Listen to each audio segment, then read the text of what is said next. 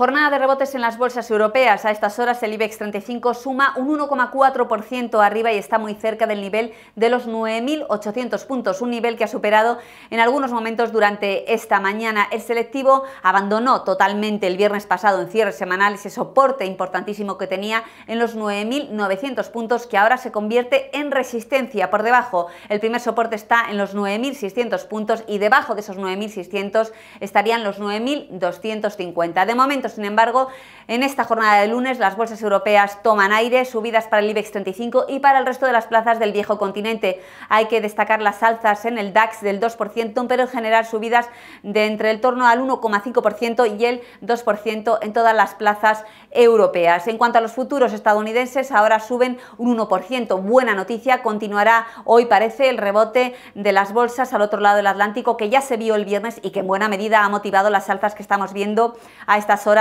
en Europa. Además, si continúan hoy las subidas en Estados Unidos, pues se afianzarán estas alzas en las bolsas del viejo continente tan necesarias después del desplome de la semana pasada, que en el caso del IBEX 35 trajo caídas acumuladas de casi el 6% en las cinco jornadas de la semana pasada. En cuanto a los valores que hay que destacar dentro del IBEX 35, fuertes alzas en Endesa gracias a un informe positivo de JP Morgan y también subidas importantes en Inditex, rebota después de las caídas eh, que viene acumulando en las pasadas semanas, también subidas importantes en ArcelorMittal o en Mediaset.